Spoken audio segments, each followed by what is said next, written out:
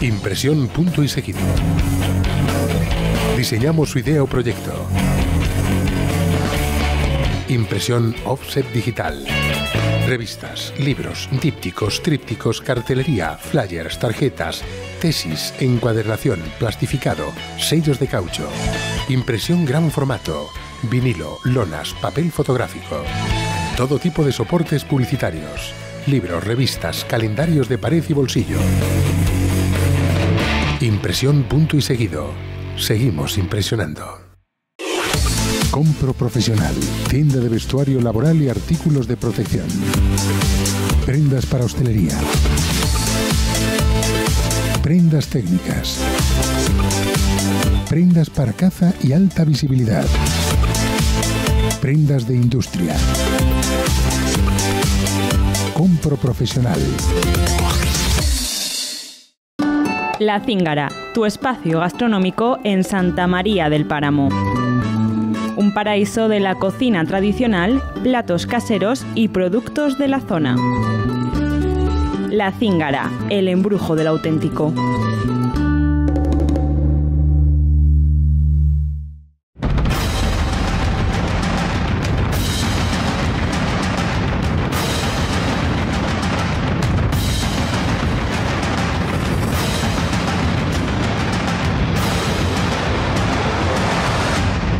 Programa patrocinado por Alauto.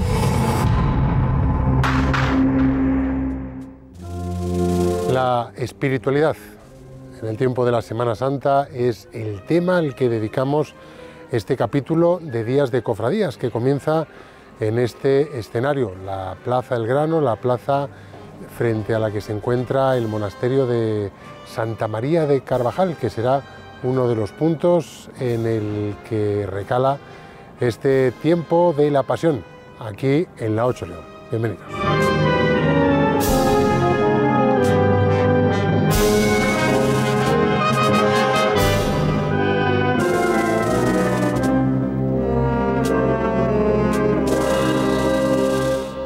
Días de Cofradías tiene el placer de entrar en una de las instituciones religiosas más queridas por los leoneses y más estrechamente relacionadas con el mundo de las cofradías de penitencia en nuestra ciudad. Es el monasterio de Santa María de Carvajal, aquí en la Plaza del Grano, la casa de las eh, reverendas madres que eh, viven con intensidad, pues como cualquier otra orden religiosa y naturalmente como hacemos todos los cristianos, este tiempo de la cuaresma y este preparatorio hacia el tiempo de la Semana Santa. Pues sí, buenas tardes. Aquí estamos para acogerles y colaborar en lo que podamos. Cuéntenos, ¿cómo es la vivencia que naturalmente en una persona de vida consagrada pues es un tiempo muy intenso de los más especiales del año? Sí, la cuaresma para nosotros es un tiempo muy importante, un tiempo de gracia y desde, nuestra, desde nuestro carisma benedictino pues San Benito nos invita a vivirlo con gozo, con gozo, con anhelo espiritual, esperando la Santa Pascua, juntas. Eso es muy típico de nuestra espiritualidad, lo vivimos todo como familia, compartiendo todo una institución eh, benedictina hermana que está muy relacionada con el mundo de la Semana Santa, de las cofradías. Ustedes han sido testigos del acontecer, de los preparativos, de los enseres, del montaje de los pasos, de la decoración y es, bueno, pues de alguna forma una actividad que se sale un poco de lo, de lo habitual de la vida monástica pues se sale de lo normal y tampoco, porque tenemos un taller de ornamentos que también es eh, una tradición de esta casa en el que se realizan, se fabrican eh, distintas ropas litúrgicas y también se han hecho escudos, se han bordado para los cofrades, eh, mantos para las vírgenes, para los distintos pasos, o sea que es una tradición que también nosotras durante todo el año estamos de alguna manera implicadas y los miles de leoneses y leonesas hermanas que se acercan estos días al, convento, que es eh, punto de salida y de llegada de alguna procesión. Y supongo que notan ustedes, son conscientes del cariño con el que las personas las tratan y, ven pues la tradición benedictina y el convento, ¿verdad? Sí, yo creo que sí, sobre todo cuando el Viernes de Dolores, antes del Domingo de Ramos, cuando pasa la primera procesión de la Virgen de Dolores, pues pasan incluso por nuestra iglesia, porque custodiamos aquí la imagen de la Virgen en algunos años y pues se ve el cariño porque viene mucha gente y sí, yo creo que se nota mucho que estamos unidos a la, a la vida de la ciudad y con la Madre Abadesa, con Ernestina, que amablemente nos ha acogido hoy. Eh, ¿Cómo es el día a día de, vida en un convento benedictino? Pues eh, simplemente muy sencillo, tenemos una vida muy, muy sencilla entre la oración, el trabajo y la vida de comunidad. Son nuestros tres grandes pilares. La oración especialmente, la oración litúrgica. Tenemos unas celebraciones siete veces al día interrumpimos los horarios para acudir al coro y ahí es donde expresamos nuestro carisma que es de la alabanza. ¿Cuántas personas integran la comunidad en este momento? 19. Supongo que va evolucionando, hay que ir adaptándose también a los tiempos. Un monasterio que obviamente en el momento en que surge eh, está pensado para acoger un número eh, mayor, pero una comunidad que sigue pues muy viva, muy presente también en la ciudad, ¿verdad? Sí, lógicamente, eh, como es normal y se ve ahora en la iglesia, las comunidades van disminuyendo en el número de personas y se van haciendo mayor, pero esto en absoluto quita vitalidad eh, a la comunidad, porque seguimos manteniendo nuestra vida, nuestro carisma y muy importante, mantenemos siempre a todas las mayores con nosotras porque al ser una familia, pues que igual una familia normal, conviven niños, conviven adultos y conviven abuelitos. Pues aquí igual, tenemos a todas nuestras hermanas hasta el último momento con nosotras. Insistimos mucho en nuestro programa que la Semana Santa es obviamente una celebración popular que tiene un componente cultural, tradicional, una manifestación artística, pero que esencialmente, básicamente, fundamentalmente es eh, una vivencia de carácter religioso y como tal debe entenderse y concebirse. ¿Qué mensaje, eh, hermana, le gustaría eh, que tuvieran muy presentes las personas cuando ven una procesión, contemplan la imagen de un Cristo o de una Virgen? Pues a lo mejor es esa espiritualidad a través de las imágenes, a través de los sentidos, que nos puede ayudar también a vivir la presencia de Dios en, nuestras vidas y en, este caso, pues ahora en estos días especialmente el mensaje de, Jesús que murió y luego también resucitó por nosotros. Entonces eso es como el mensaje central del cristiano y a través de, pues eso, de las imágenes, de la, de la, música, de las personas que participan, de todos esos gestos, pues eh, nos puede ayudar mucho pues, a vivir también nosotros ese camino en nuestras vidas, ¿no? porque el cristiano es un peregrino en realidad, que está buscando a Dios y el monje también, para eso estamos en el monasterio, para cada día de nuevo, pues buscar más a Dios. Hermana, muchas gracias. De nada. Estamos en el comedor del convento en compañía de Sonia, que es una postulante a la orden. ¿Cuánto tiempo ya aquí en toda esta preparación hasta...? En realidad eh, voy a iniciar mi postulantado eh, este 21 de marzo próximo. En una vida intensa, como nos decía la abadesa, de de vida de congregación. Estamos en el comedor, que es naturalmente pues también un punto de encuentro todos los días. Sí, sí. Eh, de hecho, tenemos una vida muy intensa, em, desde la mañana muy eh, temprano hasta después de cenar. El comedor eh, sí, es un, punto de encuentro muy importante donde estamos todas juntas y, y compartimos algo muy importante que como la comida, como ahora que estamos en, este momento de cuaresma del ayuno para recordar que es muy importante compartir con los demás lo que tenemos. Un mensaje que sigue plenamente vigente en las formas de, vida consagrada entran personas jóvenes como, como, tú a las congregaciones y es eh, algo que sigue plenamente vigente en nuestro tiempo. Es una forma de ser muy feliz. Sí, sí, sí. Es una elección de vida yo mm, puedo decir la, la, mejor que una persona pueda encontrar en su vida, porque yo ya, eh, bueno, soy joven relativamente, eh, pero al final he visto que no hay nada como Dios. No hay nada como buscar a Dios, acercarse a Dios y estar en una comunidad donde todas juntas buscamos a Dios. Pues que seas muy feliz en esta casa. Muchas gracias. En el interior de la capilla del monasterio continúa nuestro recorrido a través de pues todos los eh, eh, recovecos y todos los distintos espacios de esta eh, casa que tiene ya un largo, largo, largo recorrido histórico. desde el siglo X, 966 estamos aquí con un importante también patrimonio artístico que atesora la congregación. Regular, no mucho. Tenemos solo, casi solo el retablo barroco, como ven. Lo demás son, no tiene mayor valor artístico. Este espacio, que naturalmente pues es el, principal del convento, como de cualquier institución religiosa, que acoge eh, la celebración de la Eucaristía durante, durante todo el año y que está eh, abierto todos los días.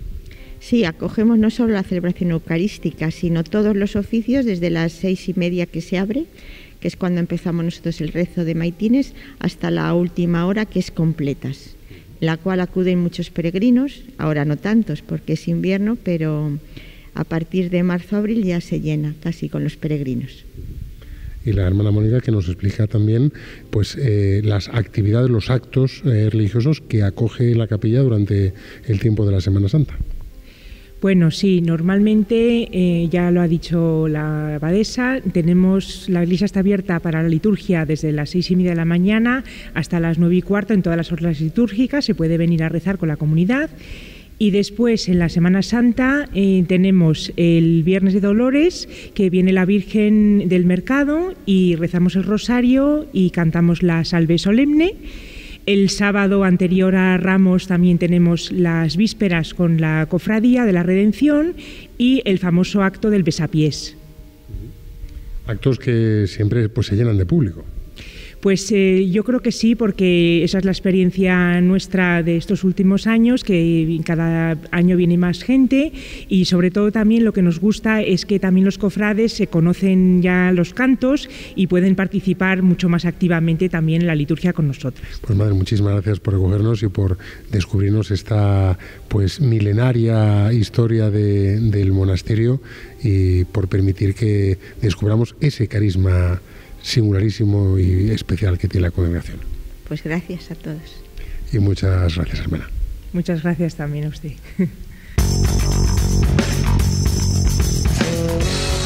Alfonso, yo creo que sin entrar en política también tenemos que hacer un guiño a algo inglés. ¿no? Sí, sí. Este, esto es un lujo dentro de los lujos. Sin duda, Bentley. Dentro de todas las cosas que encontramos aquí, encontramos un italiano ahí atrás que nos está persiguiendo muy de cerca, pero el Bentley es un, un icono también importantísimo dentro de, lo que es la industria automovilística y cosas que tú presentas aquí. Sí, es un coche excepcional. Es el Arnach, un coche que estamos hablando de 20 años, que ha recorrido 37.000 kilómetros. Fíjate. Un coche que está de auténtico mimo, artesanía por antonomasia. Estamos hablando de que en aquellos momentos no se conocía el robot para nada, todo artesanal, todo. Sí, sí, sí, sí, todo. todo. Chasis, frenos, dirección, todo. Madera. Madera de palo de rosa africana. Sí, señor. Es, es que es impresionante. Fíjate, todavía tenemos los equipamientos de hace sí, 20 sí, años. Sí, sí, sí. Pero bueno, todavía eh, apuntaba maneras y él quería enseñarnos. Fíjate. Una hace 20 años lo, monitor, que, lo que conseguíamos tener aquí. Que si te apetece pisar el freno, metemos la marcha atrás y vemos ya cámara en aquellas. Y con cámara, sí, sí. Y lo primero que nos encontramos es un Ferrari. Un Ferrari que... En la zaga. Casa al auto. Sí. ¿Y 400 caballos tienes debajo del, del, pie? Pues la verdad que es un lujo para León y es un lujo para nosotros que nos acojas siempre en tu casa y seguiremos viniendo a ver esto. Hemos empezado un mes de marzo con muchas ganas, ¿eh? con un vehículo excepcional. Claro que sí. Pero como todos los vehículos tuyos. ¿eh? Todo es una todo un auto. Sí, señor Alfonsín. Muchas gracias. Muchas gracias.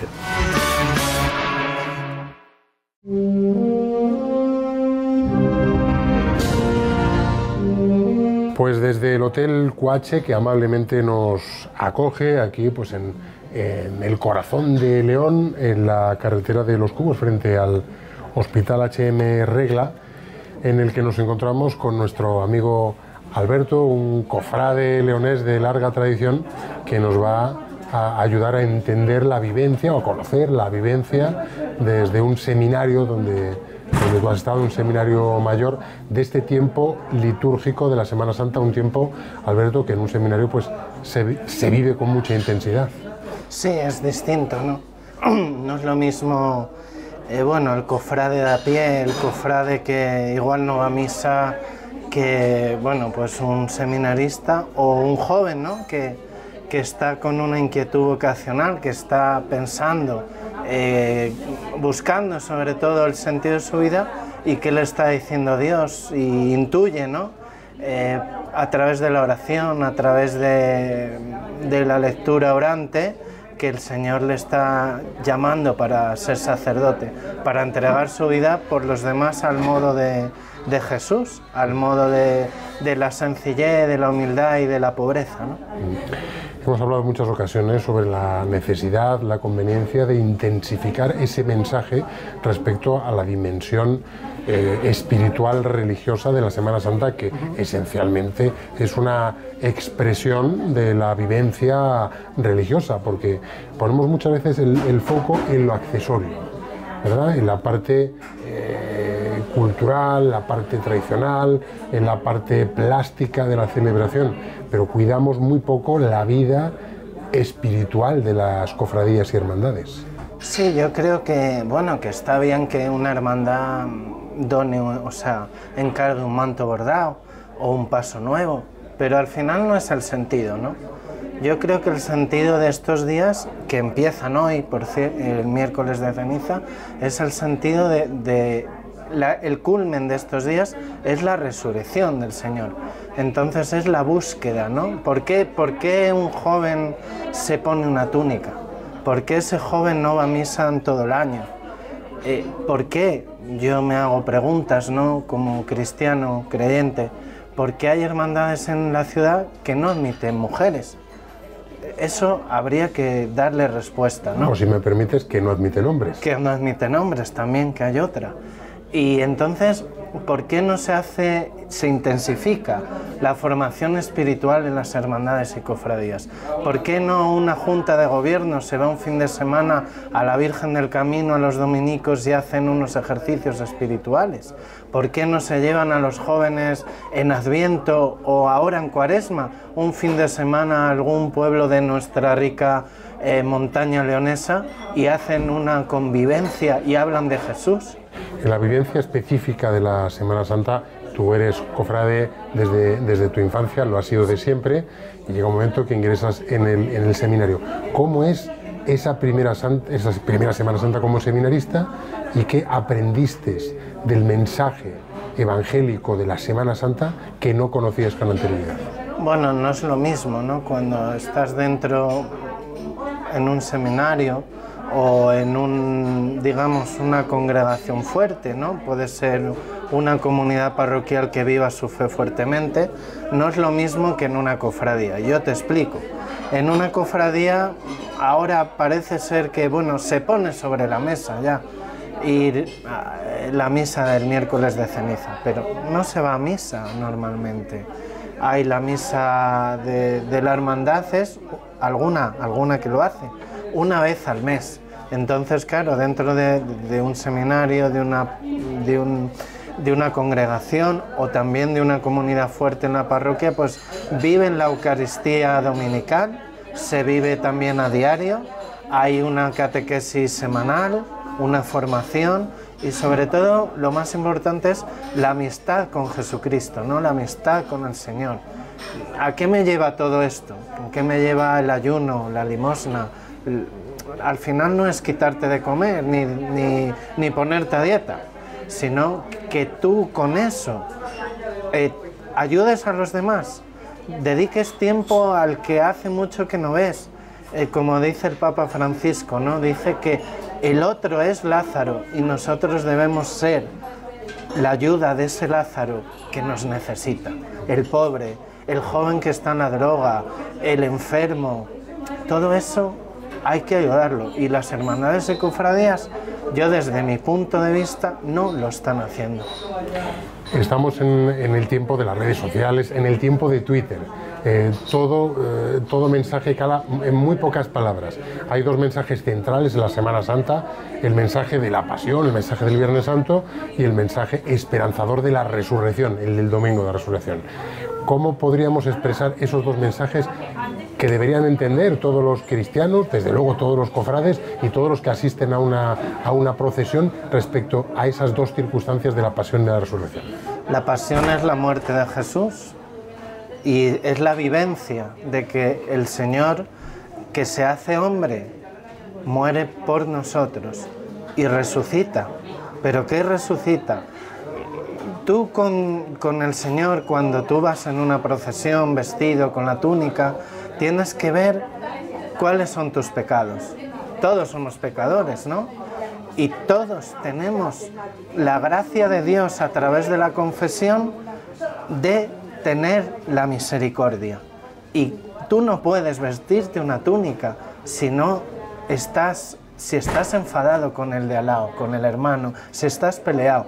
Jesucristo resucita para darte vida. ¿Y cómo resucita? A través de la Eucaristía. En la Eucaristía celebramos el gozo de la vida, el gozo del triunfo sobre la muerte, que la cruz, la cruz no es la muerte, la cruz es el signo de, de nuestra fe, de nuestra felicidad. Y nosotros, el Señor nos dice, mira, sígueme, porque yo con la resurrección te voy a dar vida y te prometo tener una vida llena de felicidad si tú haces lo que yo te diga. Como decía la Virgen, haced lo que el Señor os diga. Con ese mensaje nos quedamos. Alberto, muchísimas gracias. Gracias a ti. Y muchas gracias también a nuestros amigos del Hotel Cuache por acogernos.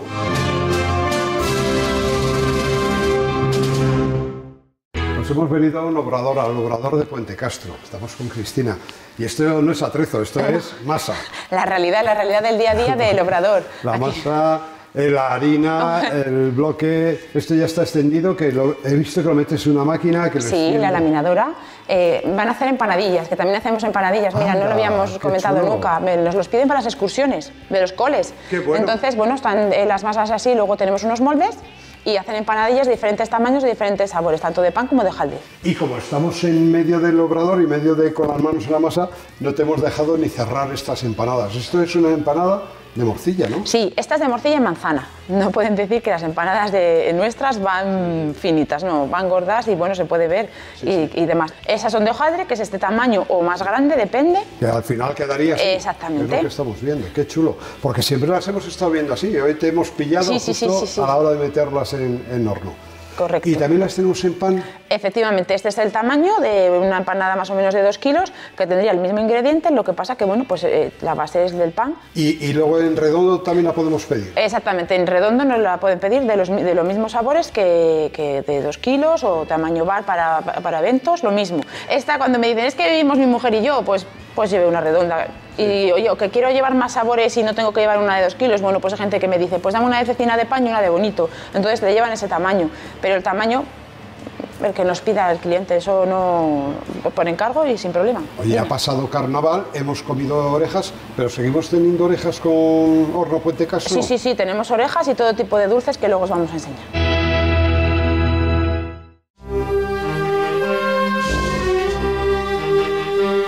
Y así, con estos mensajes y estas vivencias tan intensas y tan especiales, llegamos al final de nuestro tiempo. El tiempo de la pasión regresa, eso sí, dentro de siete días aquí a la 8 León. Hasta entonces, que sean muy felices y que les vaya bien.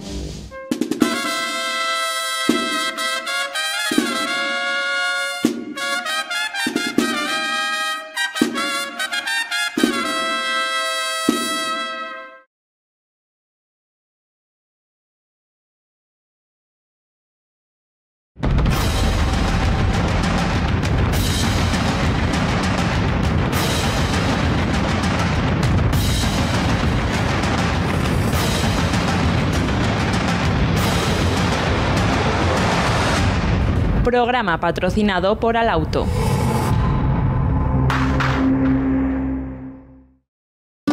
La Cíngara, tu espacio gastronómico en Santa María del Páramo. Un paraíso de la cocina tradicional, platos caseros y productos de la zona. La Cíngara, el embrujo del auténtico.